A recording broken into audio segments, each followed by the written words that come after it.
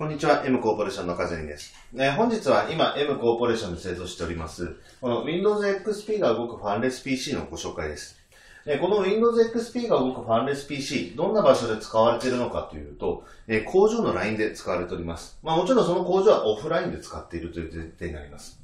で、そしてこの Windows XP が動くというところで、どんな課題があるのかと言いますと、えー新しい最近の PC では、えー Windows XP のドライバーをサポートしていません。でそしてもう一つ、えーシステムの入れ替えですね。えー OS の入れ替えには、コストと、えー時間と、そしてアプリケーションの開発というですね、物理的な時間とお金がかかっかかりすぎてなかなかできないというのが現状です。で、その解決策の一つとして M コーポレーションからのご提案なんですが、えーこちら一例になります。えー Windows XP の、えー対応した最後の CPU、えーもしと、あとチップセットを搭載したボードを採用しました。えーこちら CPU が、えーインテルの Atom D2550、えそしてチップセットがインテルの NW10 というものを使っております。ただですね、こちら、えー課題も一つあります。